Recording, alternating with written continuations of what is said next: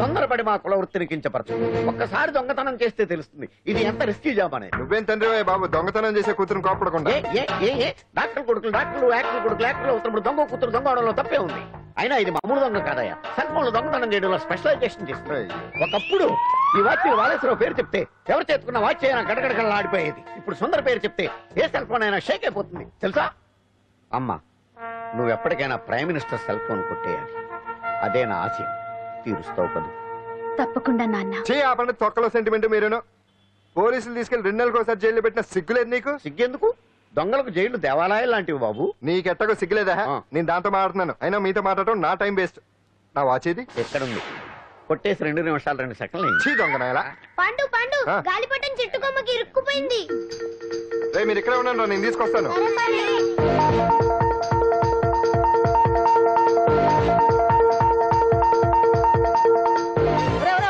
ఎక్కేస్తున్నాడు. ఆ. హరి ఆ. ఇంట్లో పని చేయకుండా ఏం చేస్తావు అక్కడ? టైం ఐదవుతుంది. ఆ? ఐదైందా? అమ్మో.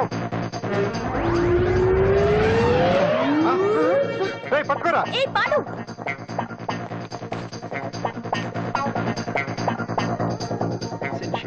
శ్రీదేవి నా చాయిస్. నాలుగు.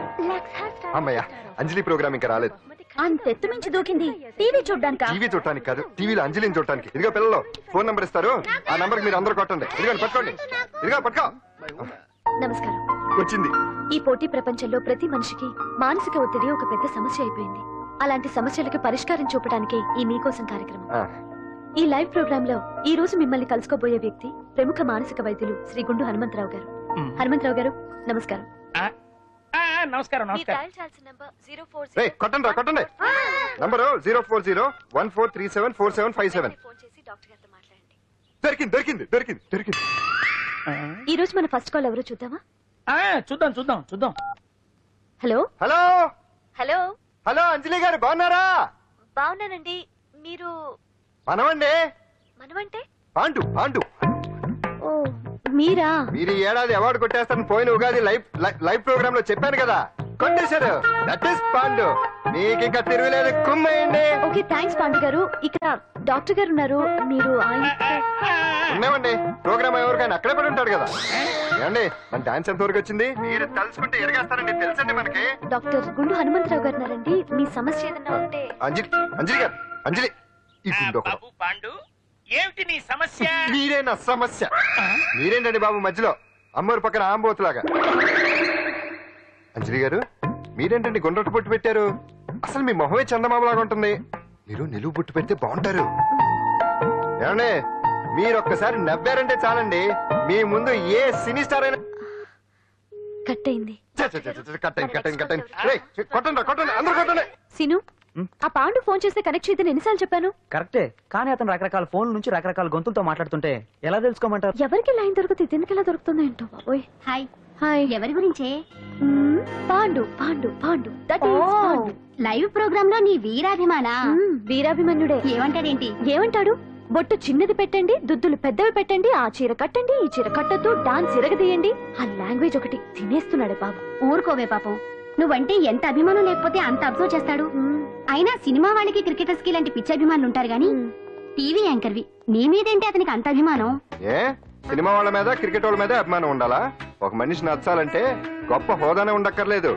మంచి మనసుంటే చాలు. ఆ. పంప తీసి అంజలి మనసు టీవీలో నీకు కనిపించిందా ఏంటి? అదే మరి. ఆ. మీకు తెలియని విషయం ఒకటి ఉంది. ఏంటో? అంజలిని టీవీలో చూసే ముందే ఆ, బయట ఒకసారి నేను చూశాను.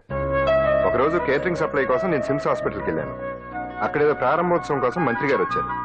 అక్కడే మొదటిసారి నేను అంజలిని చూశాను.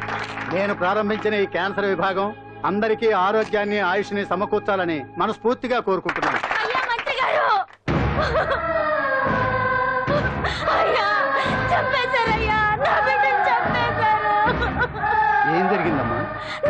గుండె ఆపరేషన్ ఉచితంగా చేస్తారని మీ గవర్నమెంట్ వాళ్ళు ఇక్కడికి తీసుకురమ్మని చెప్పారయ్యా. తీసుకొచ్చాక ఆపరేషన్ రేపు చేస్తాం మాపు చేస్తామని నెలలు తరబడి తిప్పుకొని చివరికి ఆపరేషన్ చేయకుండానే నా బిడ్డను చంపేశారయ్యా. నా బిడ్డకి చంపేశారు. ఊపిరి పోస్తారనుకున్నాం గానీ ఇలా ప్రాణం తీస్తారనుకోలేదయ్యా.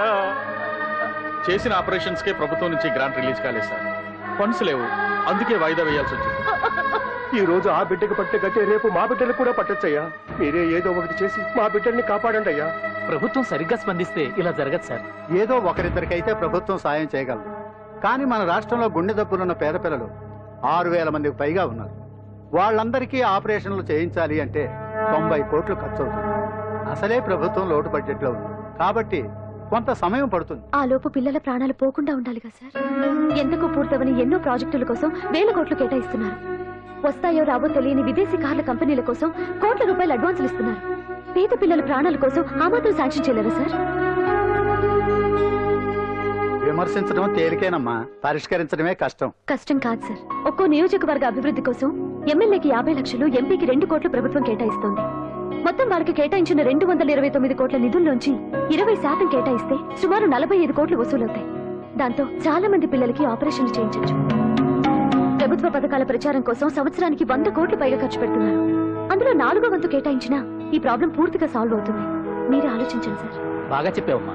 నాయకులు ఈ మాత్రం ఆలోచించగలిగితే ఇంకా సమస్య ఉందమ్మా. ప్రతిదానికి నాయకులు వేలెత్తి చూపడం కాదు.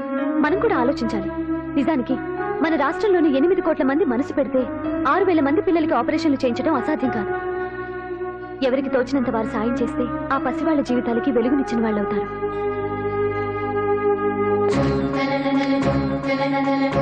ఇదిగోండి సార్ చెక్. ఇప్పటి వరకు నేను సంపాదించిందంతా ఈ పిల్లల కోసం విరాళంగా ఇస్తున్నాను.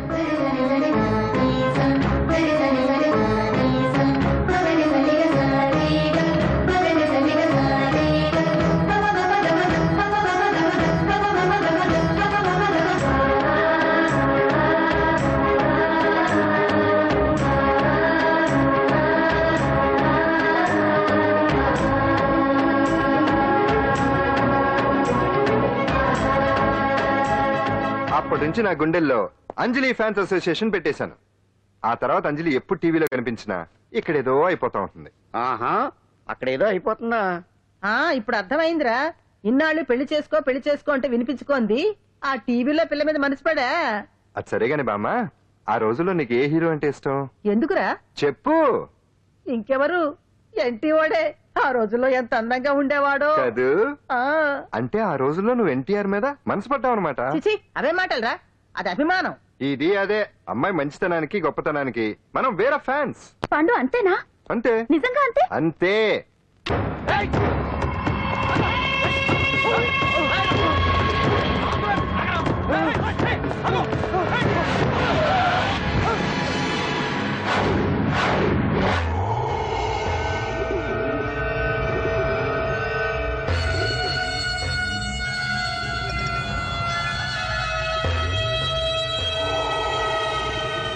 ఆకాశంలో ఏదో మర్డర్ జరిగినట్లు లేదు? గట్లనే ఉంది సార్. ఈ డైలాగ్ ఎవరున్నారో తెలుసా? తెలియదు సార్. ముత్యాల ముగ్గు సినిమాలో రావు గోపాలరావు అన్నాడు. సినిమాలో చూడవా? చూడండి సార్. ఏ? సంగీతం వింటావా? ఏనండి సార్. పొద్దుస్తా మనం తిని తొంగుంటే మనిషికి గొడ్డుకి తేడా ఏముంటుంది? మనిషి అన్నాక కాసింత కళాభూషణ ఉండాలయ్యా? ఇది ఎవరున్నారు తెలుసా? తెలియదు సార్. ఇది ఆయనే. నన్ను చూడు. పెయింటింగ్ అంటే ప్రాణం. సంగీతం అంటే సరదా. తీసుకొచ్చినామనా తలగాడు దొరకకుంటున్నాడా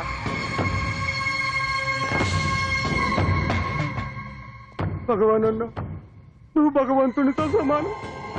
ఈ ఒక్కసారికి క్షమించి వదిలేయన్నా. క్షమించమని అడుగుతున్నావంటే తప్పు చేసినట్టుగా? తప్పా తప్పునారా? అన్న బినామీ పేరుతో మందుల కంపెనీ నడిపిస్తే నీకేంది? అందులో మత్తు మందులు తయారు చేసి ఎక్స్పోర్ట్ చేస్తే నీకేంది? సాలే నువ్వు అడిగిన డబ్బులు ఇవ్వలేదని చెప్పి పబ్లిక్ చెప్తానని భయపడిపిస్తావురా సాలే సంపుతాని ఎందుకు అర్థం వాడేమైనా పరాయవాడా ఉన్నటి దాకా మన దగ్గర పని చేస్తున్నాడే కదా. ఏదో ఒక కుర్తి పడి రెచ్చిపోయాడు అంత మాత్రం చేత ఈ అరపలేంటి? చంపుతా చంపుతానే